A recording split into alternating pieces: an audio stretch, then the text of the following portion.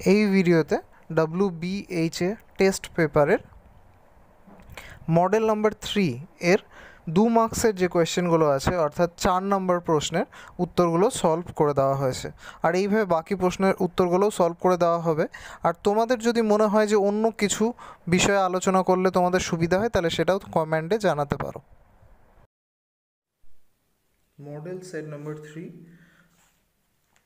two মার্কসের কোয়েশ্চেনগুলো ফোরের ফার্স্ট কোয়েশ্চেনটা বলেছে, একটি অংশীদারি ব্যবসায়ী তিনজনের মূলধনের অনুপাত one by two is to two by three is to three by four প্রথম ব্যক্তির তুলনায় তৃতীয় ব্যক্তির লাভের পরিমাণ একশো পাঁচ টাকা বেশি হলে দ্বিতীয় ব্যক্তির লাভাংশ কত? তাহলে এখানে মূলধনের অনুপাতটা ভগ্নাংশে আছে, আমাদের সবার ফার্স্ট কাজ হবে মূলধনের অনুপাতটা পূর্ণ সংখ্যার অনুপাতে আনা। আর যেহেতু এখানে সময় উল্লেখ করা নেই, সুতরাং এটা সরল অংশীদারি কারবার। আর এখানে মূলধনের অনুপাতের ভিত্তিতেই লাভ্যাংশ বণ্টিত হবে। তাহলে সবার ফার্স্ট কাজ, আমরা মূলধনটাকে পূর্ণ সংখ্যার অনুপাতে নিয়ে আসব।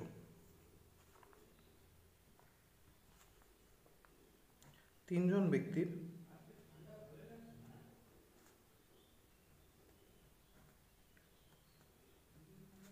মূলধনের অনুপাত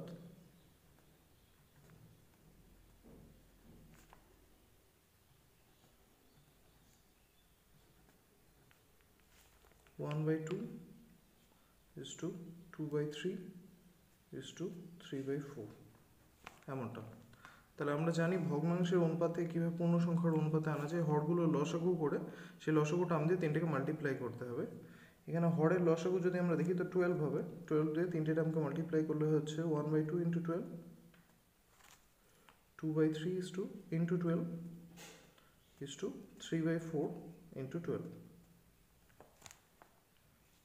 two দিয়ে টুয়েলভ ক্যান্সেল হচ্ছে সিক্স থ্রি দিয়ে টুয়েলভ ফোর ফোর দিয়ে টুয়েলভ থ্রি তো আমরা এখানে পাচ্ছি six is to four two যা eight is to three three যা nine six is to eight is to nine তাহলে তিনজন ব্যক্তির মূলধনের অনুপাত আমরা পূর্ণ সংখ্যায় six is to eight is to nine পেয়ে গেলাম। এবার এখানে যেহেতু সরল অংশীদারি কারবার, তাহলে আমরা লিখতে পারি, অতএব তিনজন ব্যক্তির প্রাপ্ত লাভ্যাংশের অনুপাত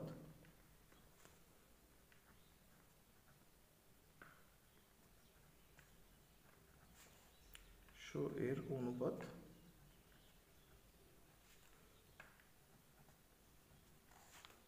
Six is to eight is to nine তিনজন ব্যক্তির প্রাপ্ত লভ্যাংশ অনুপাত আমাদের কাছে আছে। এবার সেই ভিত্তিতে আমরা যদি, যেহেতু আমাদের এখানে সম্পর্কটা প্রথম ব্যক্তির তুলনায় তৃতীয় ব্যক্তির বলে দিয়েছে, তো প্রথম তৃতীয় ব্যক্তির লাভ্যাংশটা ধরে নিই। ধরি ব্যক্তি তিনজনের লাভ্যাংশ যথাক্রমে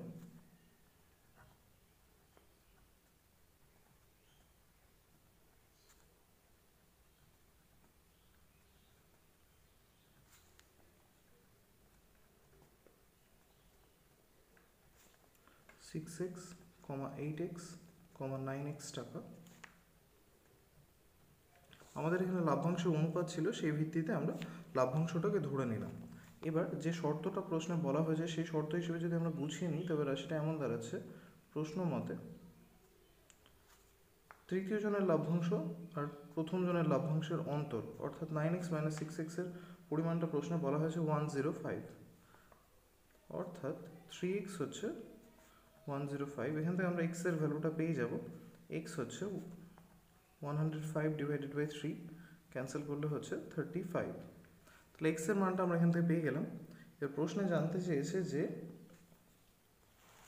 দ্বিতীয় ব্যক্তির লাভ্যাংশ কত? দ্বিতীয় ব্যক্তির লাভ্যাংশ আমাদের ভিত্তিতে এইট এক্স এবং এক্সের ভ্যালু হচ্ছে থার্টি ফাইভ তাহলে আমরা লিখব কত তৃতীয় দ্বিতীয় ব্যক্তির লাভ্যাংশ?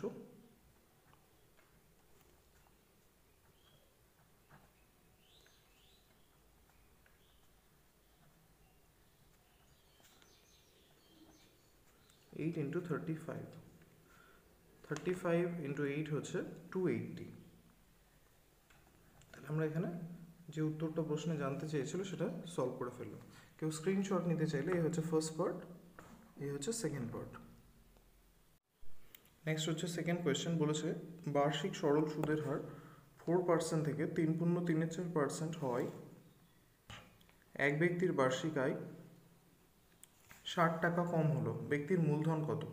তাহলে এখানে বলা হয়েছে যে সুদের হার প্রথমে ফোর পার্সেন্ট ছিল, পরে তিন পূর্ণ তিনে চার পার্সেন্ট হয় থ্রি থ্রি বাই ফোর এর ফলে এক ব্যক্তির মাসিক আয়, অর্থাৎ তিনি সুদ থেকেই প্রাপ্ত আয়টা যেটা পেতেন, সেটা ষাট টাকা কমে যায়। তাহলে মূলধনের পরিমাণ কী ছিল? এই অঙ্কটা খুব সহজভাবে আমরা সলভ করব। শর্ট ফার্স্ট আমরা বের করে নেব যে হ্রাসপ্রাপ্ত সুদের হার কত? তাহলে হ্রাসপ্রাপ্ত সুদের হার সুদের হার প্রথমে ছিল ফোর সেখান থেকে তিন পূর্ণ তিনের চার হলো। তাহলে দেখা যাক, হ্রাসপ্রাপ্ত সুদের হার কত হচ্ছে? ফোর মাইনাস মিশ্র ভগ্নাংশটাকে অপ্রকৃত ভগ্নাংশ করলে হচ্ছে fifteen by three then calculate করলে আমরা এখানে পাচ্ছি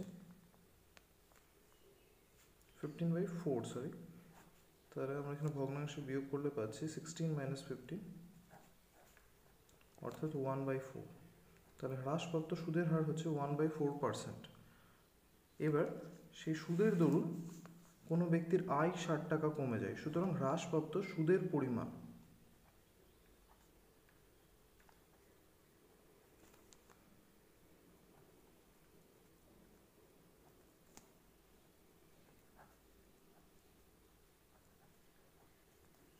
সুদের পরিমাণ হচ্ছে ষাট টাকা। নেক্সট এখানে বলেছে যে, ওই ব্যক্তির মূলধন কত আর বার্ষিক সুদের পরিমাণ ষাট টাকা কমে, সুতরাং সময় এক্ষেত্রে আমরা জানতে পারছি যে এক বছর।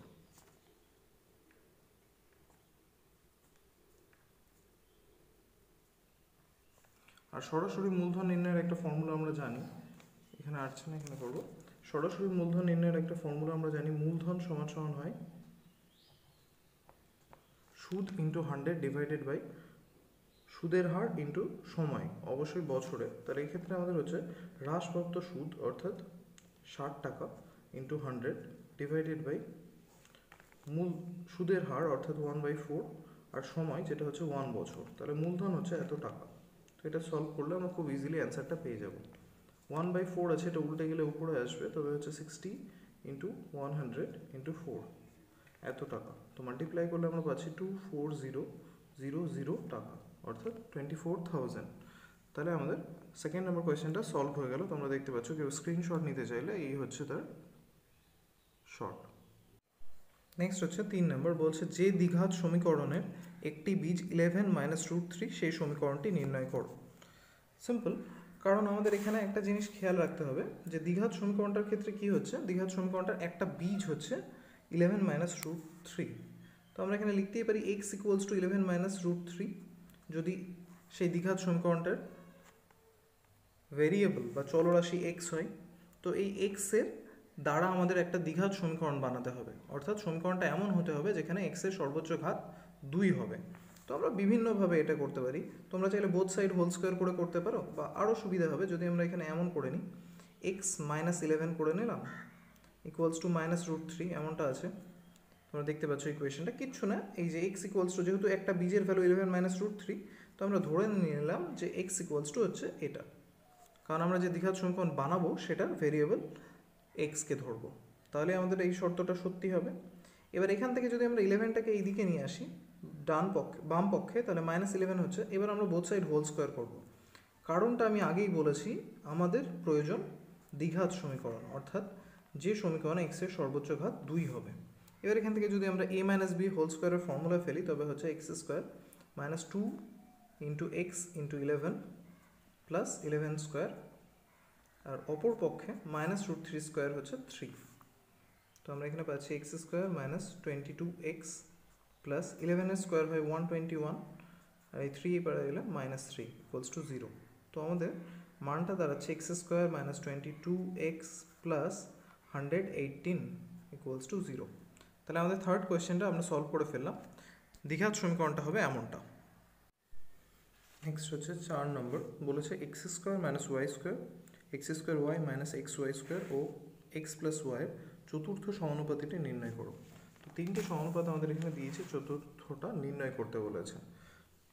ইউজুয়ালি আমরা এখানে এক্স ধরি, কিন্তু এখানে এক্স রিলেটেড টার্ম অলরেডি আছে, ওই জন্য এ ধরবো। ধরে নেব যে ধরি চতুর্থ সমানুপাতটা এ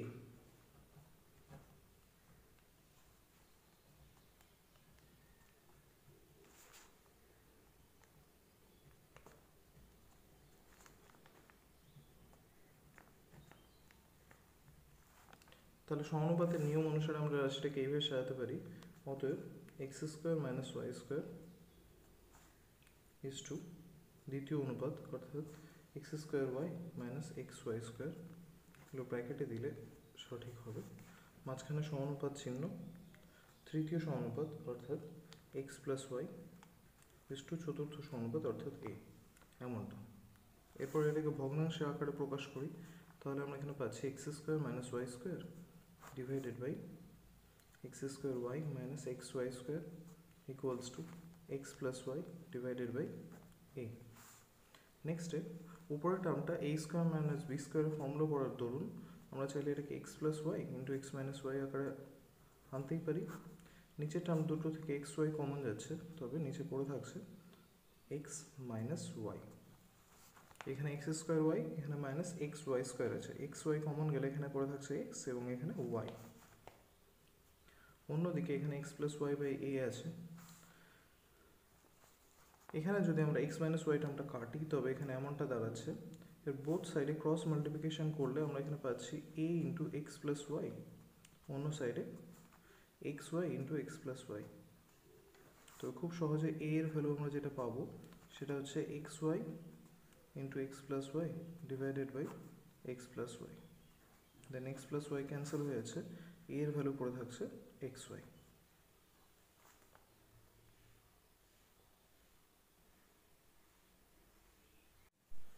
নেক্সট হচ্ছে ফাইভ নাম্বার বলেছে দুটি সদৃশ্য ত্রিভুজের পরিসীমা যথাক্রমে কুড়ি সেমি ও ষোলো সেমি প্রথম ত্রিভুজের একটি বাহুর দৈর্ঘ্য নাইন সেন্টিমিটার হলে দ্বিতীয় ত্রিভুজের অনুরূপ বাহুর দৈর্ঘ্য কত? আমরা জানি সদৃশ্য ত্রিভুজের অনুরূপ বাহুগুলোর অনুপাত তাদের পরিসীমার অনুপাতে সমান হয়। তাহলে এটাকে আমরা এখানে কাজে লাগাবো। সর্ব ফার্স্টে ধরে নেব, ধরি দ্বিতীয় ত্রিভুজটির অনুরূপ বাহুর দ্বিতীয় ত্রিভুজটির অনুরূপ বাহুর দৈর্ঘ্য এক্স সেন্টিমিটার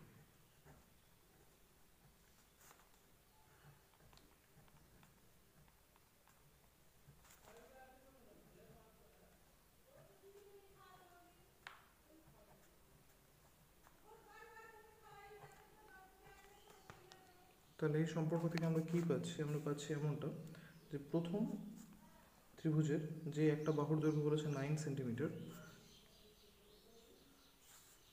ডিভাইডেড বাই দ্বিতীয় ত্রিভুজের সেই অনুরূপ বাহু, যার দৈর্ঘ্য আমরা ধরলাম এক্স সমান সমান প্রথম ত্রিভুজের পরিসীমা, যেটা বলা হয়েছে টোয়েন্টি আর দ্বিতীয় ত্রিভুজের পরিসীমা, যেটা বলা হয়েছে সিক্সটিন কারণ আমরা এখানে কি করলাম? ফার্স্ট ক্ষেত্রে করলাম প্রথম ও দ্বিতীয় ত্রিভুজের অনুরূপ বাহুর অনুপাত এবং দ্বিতীয় ক্ষেত্রে তাদের পরিসীমার অনুপাত। কিন্তু খুব সহজে এক্সের ভ্যালু পাওয়া যাবে। ক্রস মাল্টিপ্লিকেশন করা যাক, তাহলে আমরা পাচ্ছি twenty x equals to sixteen into ninety sorry nine then x equals to পাচ্ছি sixteen into nine divided by twenty four দিয়ে ক্যান্সেল করলে ফোর ফোর যা সিক্সটিন আর ফোর ফাইভ যা twenty then x equals to আমরা পাচ্ছি four into nine thirty six divided by five then x equals to পাওয়া যাচ্ছে ফাইভ সেভেন জা থার্টি ফাইভ ফাইভ পয়েন্ট নিয়ে ফাইভ টু জা টেন তাহলে এক্সের ভ্যালু আমরা পাচ্ছি সেভেন পয়েন্ট টু প্রশ্নে যেটা জানতে চেয়েছিল যে প্রথম ত্রিভুজের একটি বাহুর দৈর্ঘ্য নয় সেমি, তার অনুরূপ বাহু দ্বিতীয় ত্রিভুজের কত?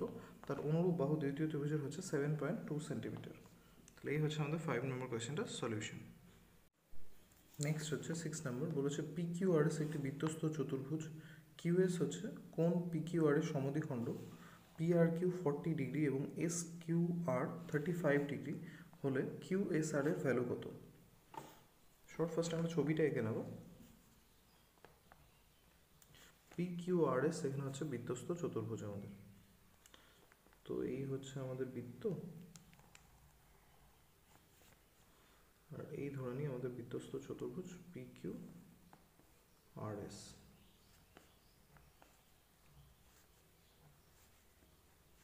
প্রশ্নে বলা হয়েছে যে কিউএস হচ্ছে পি কিউ আর কোণের সমদ্বিখণ্ডক। তাহলে এটা পি কিউ আর কোণের সমদ্বিখণ্ডক হচ্ছে আমাদের কিউএস। নেক্সট বলেছে P R Q forty degree.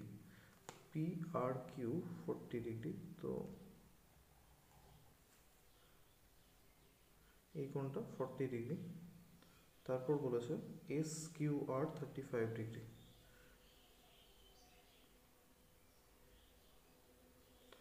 Next বলেছে কিউ এস আর এর ভ্যালু কত হবে?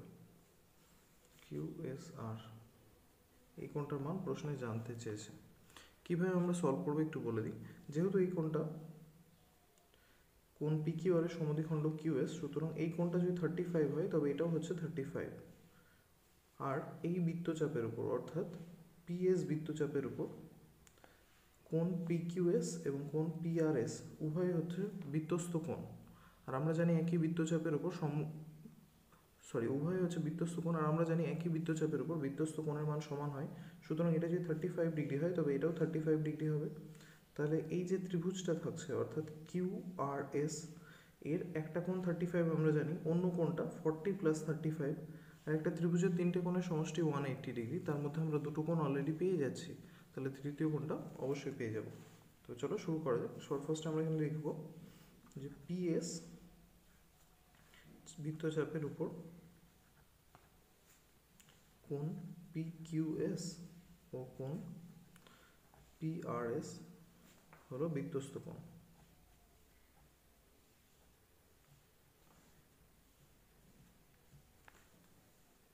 অতএব কোন P R S equals to কোণ পি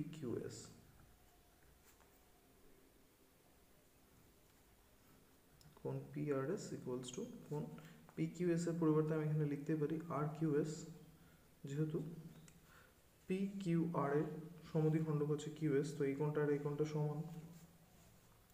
তাহলে এখান থেকে আমি খুব সহজে পেয়ে যাচ্ছি কোন P R S equals to thirty five degree এবার আমরা খুব সহজে ত্রিভুজ আর কিউ এস থেকে অন্য কোণটা যেটা জানতে চেয়েছে সেটা বের করতে পারব। ত্রিভুজ আর কিউ এস এর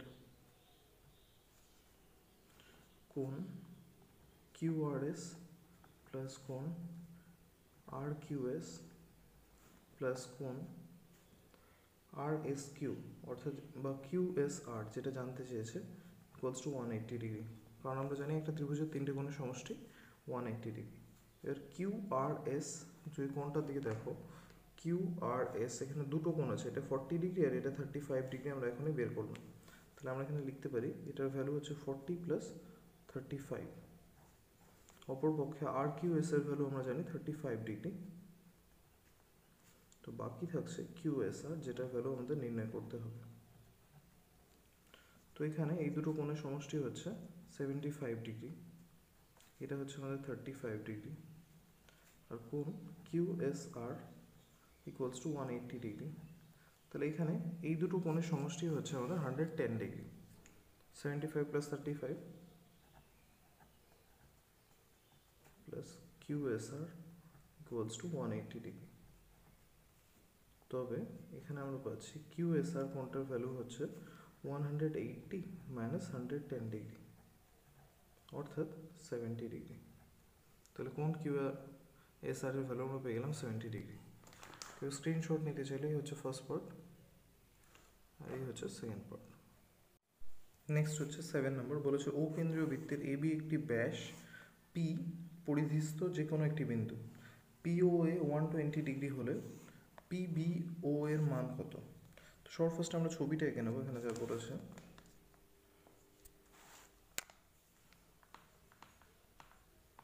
আমরা বলেছি, ও কেন্দ্রীয় বৃত্তের এবি একটি ব্যাস। তো এই হচ্ছে আমাদের ও কেন্দ্রীয় বৃত্ত, যার এবি ব্যাস।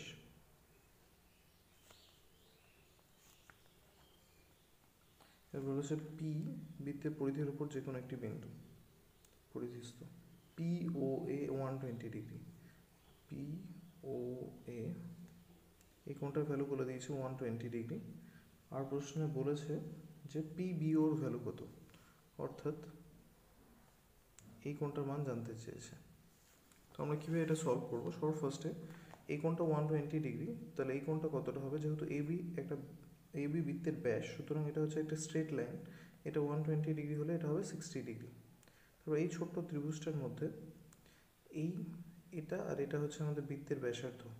এই দুটো বৃত্তের ব্যাসার্ধ হওয়ার দরুন এদের অপোজিট কোণ, অর্থাৎ এই কোণটা আর এই কোণটা সমান হবে।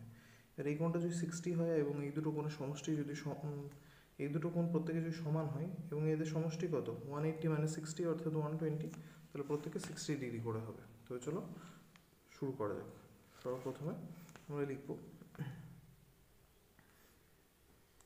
কোন পিওবি সমান সমান ওয়ান এইট্টি মাইনাস কোন পি ও এ এই দুটো কোণের সমষ্টি ওয়ান এইট্টি হওয়ার কারণ হচ্ছে একটা সরলরেখার উপর দণ্ডায়মান কোনো রেখা উভয় পক্ষে কোণের সমষ্টি ওয়ান এইট্টি ডিগ্রি হয় আমরা জানি, আর এ বি একটা ব্যাস, সুতরাং সেটা অবশ্যই সরলরেখা। তো one eighty degree minus one twenty degree অর্থাৎ সিক্সটি ডিগ্রি তাহলে আমরা কোন?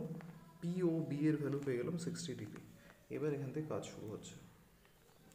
ত্রিভুজ পি ও বি এর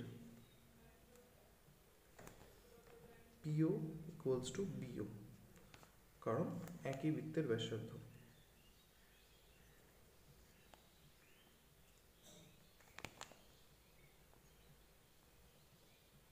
তাহলে এদের অপোজিট কোণগুলো অর্থাৎ পিওর অপোজিটে যে কোণটা থাকছে সেটা হচ্ছে পিবিও এবং ওবির অপোজিটে যে কোণটা থাকছে সেটা হচ্ছে বিপিও এই দুটো কোণের ভ্যালু সমান। এখানে অলরেডি আমরা একটা কোণের ভ্যালু এই ত্রিভুজের মধ্যে বের করে রেখেছি সিক্সটি ডিগ্রি তাহলে আমরা লিখতে পারি ত্রিভুজ পিওবি এর কোণ পিবিও প্লাস কোণ B P O equals to one eighty minus কোণ পিওবি কারণ একটা ত্রিভুজের দুটো কোণের সমষ্টি, একশো আশি থেকে তৃতীয় কোণের বিয়োগফল। তাহলে এখানে যেহেতু এই দুটো কোণের মান সমান, তাহলে আমি একটা যে লিখতেই পারি পিবিও এবং এখানে আরেকটা পিবিও ধরে নিয়ে two P B O equals to one eighty minus sixty degree তাহলে আমরা পাচ্ছি two P B O equals to one twenty degree then PBO equals to 120 divided by 2 অর্থাৎ 60 ডিগ্রি তাহলে এখানে আমরা কোন পিবিওর ভ্যালু পেয়ে গেলাম 60 ডিগ্রি এই ছিল আমাদের সেভেন নম্বর কোয়েশ্চেনের সলিউশন নেক্সট হচ্ছে এইট নম্বর কোনো মূলধন বার্ষিক ছয় পূর্ণ একের চার পার্সেন্ট সরল সুদের হারে কত বছরে দ্বিগুণ হবে তা নির্ণয় করো। তাহলে সুদের হারটা বলে দিয়েছে আর কন্ডিশনটা এটা বলে দিয়েছে যে ওই সুদের হারে কোনো মূলধন কত বছরে মানে দ্বিগুণ হবে, কিন্তু টাইমটা কতক্ষণ লাগবে সেটাই জানতে চেয়েছে। এই অঙ্কটা বিভিন্নভাবে করা যায়, আমরা চেষ্টা করব সবচেয়ে সোজাভাবে করা ফার্স্টে আমরা ধরে নেব ধরি মূলধনটা পি টাকা।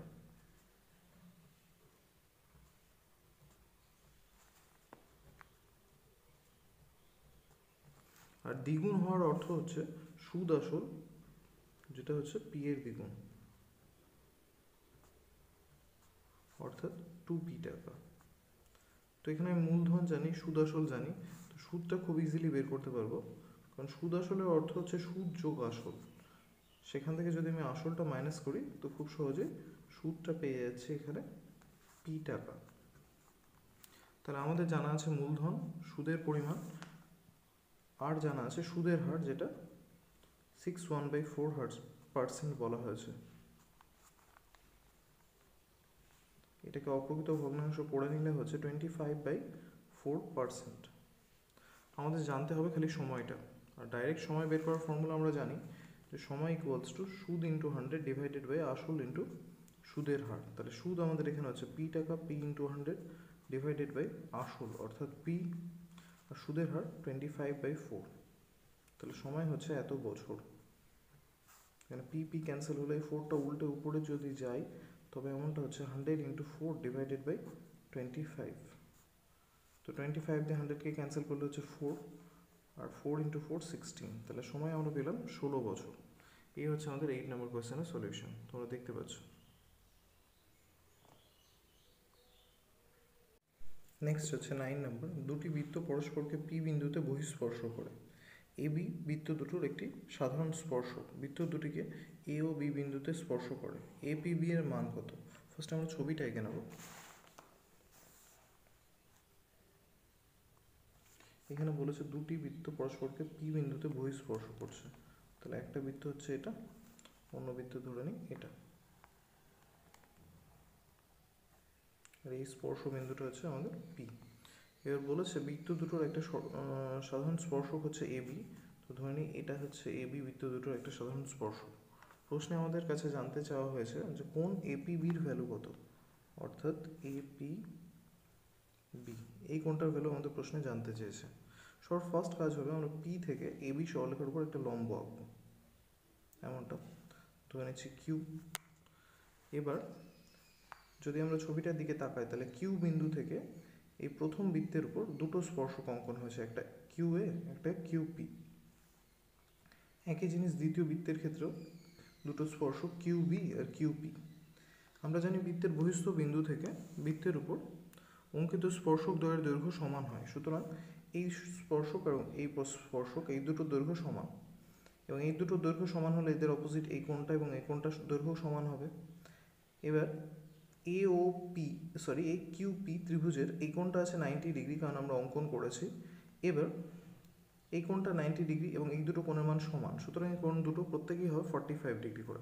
কারণ সমকোণী সমদ্বিবাহু ত্রিভুজের কোণগুলো হয় ninety forty five forty five তো এই কোণটা ফর্টি ফাইভ হচ্ছে, একই জিনিস এই ক্ষেত্রেও হবে, সুতরাং এপি বির ভ্যালু আমরা পাবো নাইনটি ডিগ্রি তো চলো সলভ করা যাক। সবার ফার্স্টে আমরা লিখব পি বিন্দু থেকে এ বি স্পর্শকের উপর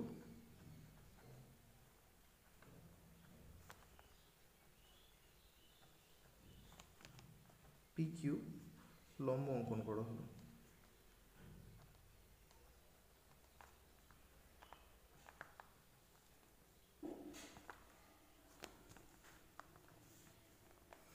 অতএব A Q equals to P Q A Q R P Q দুটো সমান হলে এদের অপোজিট কোন দুটো সমান? অর্থাৎ Q A P equals to Q P A আবার একইভাবে এই ত্রিভুজের ক্ষেত্রে আমি পাচ্ছি B Q equals to P Q কারণ এখানে লেখা যেতে পারে, বৃত্তের বহিস্থ বিন্দু থেকে কোনো বৃত্তের উপর অঙ্কিত স্পর্শক দুটির দৈর্ঘ্য সমান হয়।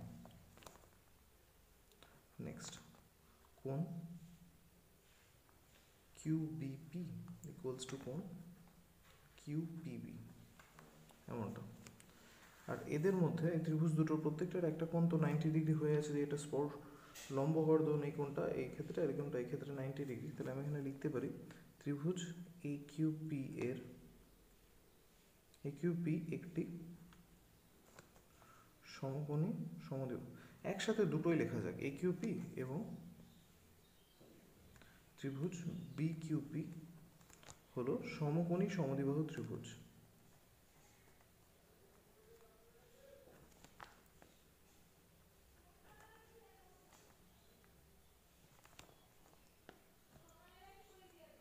সমকোণী সমদ্বিবাহু ত্রিভুজ। এবার এই ক্ষেত্রে আমরা জানি সমকোণী সমদ্বিবাহু ত্রিভুজের তিনটে কোণ নব্বই, পঁয়তাল্লিশ পঁয়তাল্লিশ হয়। তো এই কোণটা তো এক্ষেত্রে নব্বই, সুতরাং এটা পঁয়তাল্লিশ এবং এক্ষেত্রে এটাও পঁয়তাল্লিশ হবে। তাহলে আমরা করতে পারি, অতএব কোণ A P B equals to কোণ এপি কিউ প্লাস কোণ বিপি কিউ সমান সমান পঁয়তাল্লিশ প্লাস পঁয়তাল্লিশ। যার যোগফল বেরোচ্ছে নাইনটি ডিগ্রি। এই ছিল আমাদের নাইন নম্বর কোয়েশ্চেনের সলিউশন তোমরা দেখতে পাচ্ছ। নেক্সট হচ্ছে টেন নম্বর বলেছে একটি সমকোণী চৌপলের সমগ্র তলের ক্ষেত্রফলের সংখ্যামানের অর্ধেক যদি কর্ণের দৈর্ঘ্যের সংখ্যামানের বর্গের সমান হয়, তবে প্রমাণ করো চৌপলটি একটি ঘনক। আমরা জানি সমকোণী চৌপল আর ঘনকের মধ্যে ডিফারেন্স হচ্ছে এই যে সমকোণী চৌপলের দৈর্ঘ্য, প্রস্থ, উচ্চতা তিনটে ভিন্ন ভিন্ন থাকে। আর অন্যদিকে ঘনকের দৈর্ঘ্য, প্রস্থ, উচ্চতা প্রত্যেকটা সমান থাকে এবং তাকে ঘনকের বাহুর দৈর্ঘ্য বা প্রতিটি ধারের দৈর্ঘ্য বলা হয়। তো এই ক্ষেত্রে আমরা চৌপলটার দৈর্ঘ্য, প্রস্থ, উচ্চতা তিনটেকে ধরে নেব শর্ট ফার্স্টে ধরি, সমকোণী চৌপলটির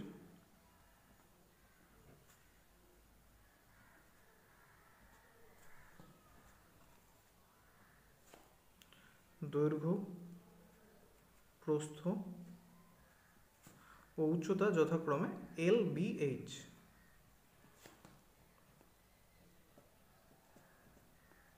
L for length, B for breadth R H for height. তাহলে আমরা এখানে সমকোণী চৌপলটার দৈর্ঘ্য, প্রস্থ, উচ্চতা তিনটে ধরে নিলাম। এর প্রশ্নের শর্ত অনুসারে সমকোণী চৌপলটার সমগ্র তলের ক্ষেত্রফল হচ্ছে আমরা জানি সমকোণী চৌপল বা আয়তঘনের সমগ্র তলের ক্ষেত্রফলের ফর্মুলা হচ্ছে two into L B plus B H plus L H যদি এখানে এল বি এইচ তাদের দৈর্ঘ্য, প্রস্থ আর উচ্চতা হয় যথাক্রমে। তাহলে এই ক্ষেত্রে এটা হচ্ছে তার সমগ্র তলের ক্ষেত্রফল, এখানে বর্গ একক লিখবে আর এখানে লেখার সময় একক লিখতে হবে। তাহলে সমগ্র তলের ক্ষেত্রফল আমরা সমকোণী চৌপটটার পেয়ে গেলাম, আমাদের আর্টিফিশিয়াল মান দিয়ে পাওয়া একটা মান। একইভাবে আমরা সমকোণী চৌপটটার কর্ণের দৈর্ঘ্য বের করব। সমকোণী চৌপলের কর্ণের দৈর্ঘ্যের ফর্মুলা আমরা জানি রুট ওভার দৈর্ঘ্য স্কোয়ার প্লাস প্রস্থ স্কোয়ার প্লাস উচ্চতা স্কোয়ার অর্থাৎ এখানে হবে root over L square plus B square plus H square এত একক। এখানে একটা জিনিস খেয়াল রাখতে হবে, আমাদের সংখ্যা মানের কথা বলেছে। সংখ্যা মানের অর্থ হচ্ছে এই যে এককটা না, শুধু এই যে সংখ্যা মানটা আছে, এই মানটার মধ্যেই সম্পর্কর কথা বলা হয়েছে। প্রশ্নে বলা হয়েছে যে, সমগ্র তলের ক্ষেত্রফলের অর্ধেক তার কর্ণের বর্গের সমান। তাহলে আমরা প্রশ্ন অনুসারে লিখতে পারি, এটা হচ্ছে সমগ্র তলের ক্ষেত্রফল, এর অর্ধেক, অর্থাৎ two L B plus B H plus L H divided by two equals to কর্ণের দৈর্ঘ্য এটা আছে তার স্কোয়ার, অর্থাৎ বর্গ, root over L square plus B square plus H square, তার হোল স্কোয়ার। তো এখানে টু টু ক্যান্সেল হচ্ছে, তবে আমরা এখানে পাচ্ছি L B plus B H plus L H আর এখানে স্কোয়ারের জন্য স্কোয়ার রুটটা উঠে যাবে, আর আমরা এখানে পাচ্ছি হচ্ছে L square plus B square plus H square আর আমাদের উদ্দেশ্য হচ্ছে এই সমকোণী চৌকোণটাকে একটা ঘনক, এটা প্রমাণ করা। অর্থাৎ এই এল বি এইচ এদের প্রত্যেকের দৈর্ঘ্য যদি সমান হয়, তবেই সমকোণী চৌকোণটাকে আমরা একটা ঘনক বলব। আর আমরা তাই করার চেষ্টা করব। তো বোথ সাইডে টু দিয়ে মাল্টিপ্লাই করব শর্ট ফার্স্টে তাহলে এখানে হচ্ছে আমাদের two L B B H H এখানে হচ্ছে টু ব্র্যাকেটে L square plus B square plus H square সম্পূর্ণ টার্মটা একটা সাইডে নিয়ে আসলে আর একটু সাজিয়ে নিলে আমরা কি পেতে পারি? দেখা যাক। এখানে আমাদের two L square B square H square আছে। তো আমরা এই সাইডটাকে এইদিকে নিয়ে নিচ্ছি। Two L square plus two B square plus two H square এই টার্মটাকে এদিকে two L B plus two B H plus two L H এমনভাবে। এবার এই এল স্কোয়ার টার্মটার সঙ্গে এখানে দুটো এল স্কোয়ার আছে। আমি একটা এল স্কোয়ার নিলাম আর এই টু এল বি ডান পক্ষ থেকে এই পারে নিয়ে এলাম। তাহলে এখানে প্লাস ছিল, এদিকে মাইনাস হলো। প্লাস এখানে বি স্কোয়ার নিলাম। দুটো বি স্কোয়ার ছিল, একটা বি স্কোয়ার নিলাম। অন্য বি স্কোয়ারটা তাহলে থাকল। এবার এখান থেকে আমি এই টার্মটা আনলে আবার মাইনাস হচ্ছে মাইনাস টু বি এইচ এবং এইচ এই টু এইচ স্কোয়ারের মধ্যে একটা এইচ স্কোয়ার আমরা এখানে বসিয়ে নিচ্ছি। তারপর বাকি আর একটা H square minus two L H plus L square কারণ এল স্কোয়ারের মধ্যে দুটো ছিল, একটা আমরা এখানে বসিয়েছিলাম, একটা এখানে। টু বি স্কোয়ার ছিল, একটা বি স্কোয়ার এখানে, একটা এখানে। আর টু এইচ স্কোয়ার ছিল, একটা এইচ স্কোয়ার এখানে আর এখানে। আর এই টার্মগুলো মাঝে মাঝে নিয়ে আসলাম এমনভাবে যেন আমাদের এ মাইনাস বি হোল স্কোয়ারের তিনটে ফর্মুলা এখানে পড়ে। তাহলে এখানে আসছে একটা ফর্মুলা এর দরুন আমরা লিখতে পারি এল মাইনাস বি তার হোল স্কোয়ার যেহেতু A square minus two A B plus B square যদি আমরা এ কে এল আর বি কে বি ধরি, একইভাবে এই তিনটে থেকে আমরা কি পাচ্ছি? B minus H the whole square একইভাবে এই তিনটে থেকে আমরা পাচ্ছি এইচ মাইনাস এল তার হোল স্কোয়ার আর আমরা জানি একাধিক পূর্ণবর্গ রাশির সমষ্টি যখন শূন্য হয়, তখন নিশ্চয়ই তারা প্রত্যেকেও পৃথকভাবে শূন্য হবে। কারণ পূর্ণবর্গ রাশি কখনো ঋণাত্মক হতে পারে না। তাহলে আমরা এখানে লিখব, অতএব L minus B equals to zero B minus H equals to zero R H minus L equals to zero যেহেতু একাধিক পূর্ণবর্গ রাশির সমষ্টি শূন্য, সুতরাং প্রত্যেকে পৃথকভাবে শূন্য। তাহলে এখান থেকে আমি পাচ্ছি এল ইকুয়ালস টু বি আর এখান থেকে পাচ্ছি বি ইকুয়ালস টু এইচ এটার প্রয়োজনই নেই, আমরা এখানে লিখতে পারি অতএব L equals to B equals to H তাহলে সমকোণী চৌপাটটার দৈর্ঘ্য, প্রস্থ, উচ্চতা তিনটের মান সমান। তাহলে এবার আমরা লিখতে পারি অতএব সমকোণী চৌপলটি একটি ঘনক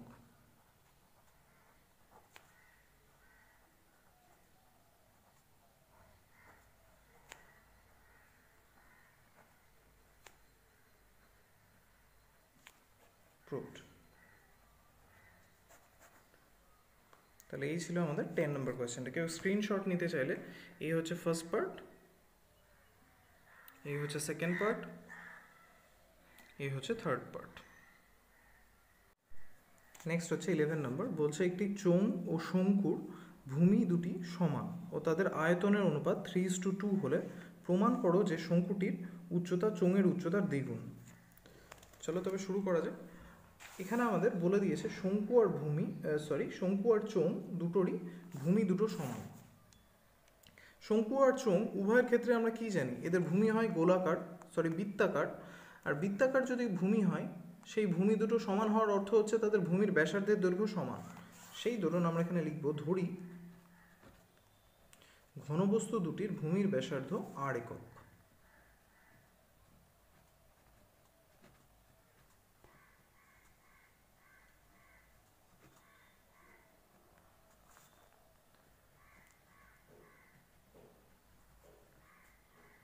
তাহলে ভূমির ব্যাসার্ধ আমি এখানে পেয়ে গেলাম। এবার এখান থেকে আমরা ঘনবস্তু দুটোর উচ্চতাও ধরে নেব, যেটা অ্যাকচুয়ালি আমাদের এখানে প্রয়োজন হবে। এবং শঙ্কু সরি ফার্স্টে চোং আছে কোয়েশ্চেনে তো চোঙই নেওয়া যাক। চোং ও শঙ্কুর উচ্চতার মান যথাক্রমে এইচ ওয়ান ও এইচ টু একক। তাহলে আমরা এখানে ঘনবস্তু দুটোর ভূমির ব্যাসার্ধ ধরে নিলাম আর একক এবং তাদের উচ্চতার মান ধরে নিলাম এইচ ওয়ান এবং এইচ টু একক। চোঙের উচ্চতা এইচ ওয়ান আর শঙ্কুর উচ্চতা এইচ টু একক। এবার তাহলে আমরা প্রশ্ন অনুসারে যদি ডাইরেক্ট করি, প্রশ্ন অনুসারে তাদের আয়তনের অনুপাত বলা হয়েছে। আমরা এই ক্ষেত্রে জানি যে চোঙের আয়তনের ফর্মুলা হচ্ছে পাই ব্যাসার্ধর স্কোয়ার ইন্টু উচ্চতা। তো সেই ধরুন এখানে আমরা পাবো চোঙের আয়তন pi R square into H one যেহেতু এক্ষেত্রে আর হচ্ছে চোঙের ব্যাসার্ধ এবং এইচ ওয়ান হচ্ছে তার উচ্চতা। ইস টু এখানে শঙ্কুর আয়তনের ফর্মুলা আমরা জানি ওয়ান থার্ড পাই ব্যাসার্ধ স্কোয়ার ইন্টু উচ্চতা। তো সেই ধরুন আমরা এখানে পাবো one third pi R square into H two তাহলে এই হলো দুটো আয়তনের অনুপাত। যেটা পরিমাপটা হচ্ছে এক্ষেত্রে থ্রি ইস টু টু এমনটা। তাহলে সলভ করে বের করা যাক H one is to H two দেখা যাক। বোথ সাইড থেকে, এখানে আমরা অনুপাতটা রিলেশন থেকে বোথ থেকে পাই আর স্কোয়ার সরাতে পারি। তো আমাদের এখানে পড়ে থাকছে H one is to H two by three সমান সমান থ্রি ইস টু টু প্রশ্নে আমাদের এখানে প্রমাণ করতে বলেছে যে শঙ্কুটার উচ্চতা চোঙের উচ্চতার দ্বিগুণ, অর্থাৎ এইচ টু এইচ ওয়ানের ডবল তো আমরা করব। এখানে অনুপাতের সম্পর্ক থেকে যদি আমরা এটাকে ভগ্নাংশের সম্পর্ক আনি, তাহলে রাশিটা দাঁড়াচ্ছে H one by H two by three আর এইদিকে থাকছে three by two cross multiplication যদি আমরা করি, তাহলে আমাদের এখানে হচ্ছে টু এইচ ওয়ান অর্থাৎ এই টুর সঙ্গে এইচ ওয়ান মাল্টিপ্লাই হচ্ছে, সমান সমান three into H two by three তো থ্রি থ্রি ক্যান্সেল হচ্ছে, তাহলে আমরা এখানে ইজিলি পাচ্ছি এইচ টু সমান সমান two H one H two ছিল আমাদের এখানে শঙ্কুর উচ্চতা আর এইচ ওয়ান ছিল চোঙের উচ্চতা। তাহলে আমরা প্রুভ করে ফেললাম যে চোঙের উচ্চতা, শঙ্কুর উচ্চতার দ্বিগুণ। তাহলে আমরা লিখব অতএব সরি শঙ্কুর উচ্চতা, চোঙের উচ্চতার দ্বিগুণ। অতএব শঙ্কুটির উচ্চতা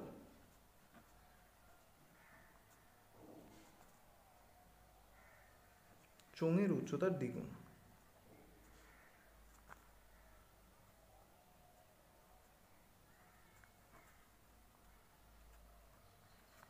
Proved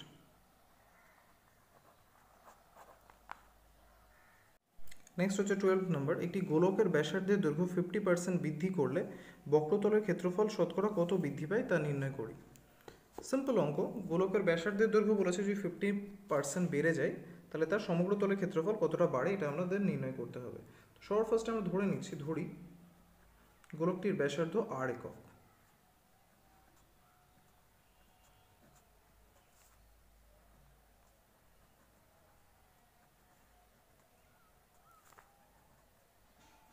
তাহলে গোলকের ব্যাসার্ধ আমি এখানে পেয়ে গেলাম আর একক। এর গোলকের ব্যাসার্ধ যদি ফিফটি পার্সেন্ট বাড়েই তবে ব্যাসার্ধ কত হচ্ছে দেখা যায় অতএব গোলকটির ব্যাসার্ধ ফিফটি পার্সেন্ট বাড়লে ব্যাসার্ধ হবে আর ছিল আর তার ফিফটি পার্সেন্ট বাড়বে, তো R into fifty by hundred এত একক হবে। দেখা যাক কত একক হচ্ছে। ফিফটি দিয়ে হান্ড্রেডকে ক্যান্সেল করলে বাই টু তাহলে r plus r by two ভগ্নাংশে যোগ করলে আমাদের এখানে হচ্ছে থ্রি আর বাই টু তাহলে এখানে আমরা গোলকটির ব্যাসার্ধ পেয়ে গেছি, আর ব্যাসার্ধ ফিফটি পার্সেন্ট বাড়লে যা হবে সেটাও পেয়ে গেছি। তাহলে আমরা এবার লিখব অতএব গোলকটির প্রাথমিক বক্রতলের ক্ষেত্রফল, বা প্রাথমিক, এখানে প্রশ্নে আমাদের বলেছে বক্রতলের ক্ষেত্রফল, তো বক্রতলের ক্ষেত্রফলই বের করব। প্রাথমিকের অর্থ হচ্ছে যেটা প্রথমে ছিল। তাহলে গোলকটির প্রাথমিক ক্ষেত্রফল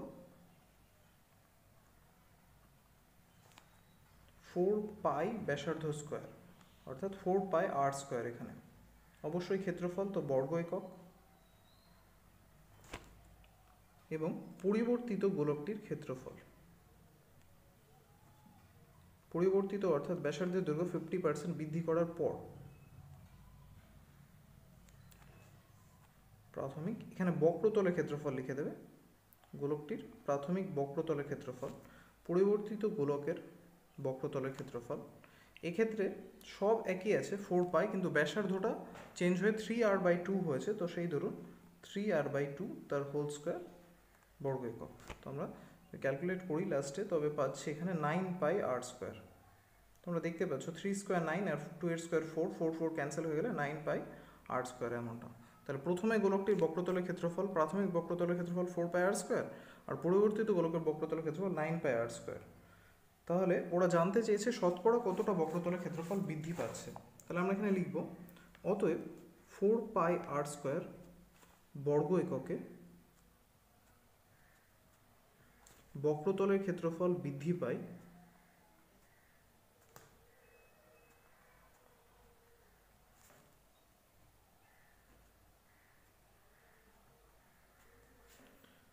নাইন পাই আর স্কোয়ার হয়েছিল, তাহলে nine pi r square minus four pi r square অর্থাৎ বৃদ্ধি পাচ্ছে ফাইভ পাই আর স্কোয়ার বর্গ একক